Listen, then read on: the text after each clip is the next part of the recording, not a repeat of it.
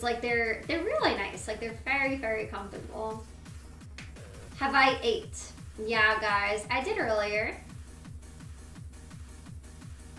Nice dress. Thank.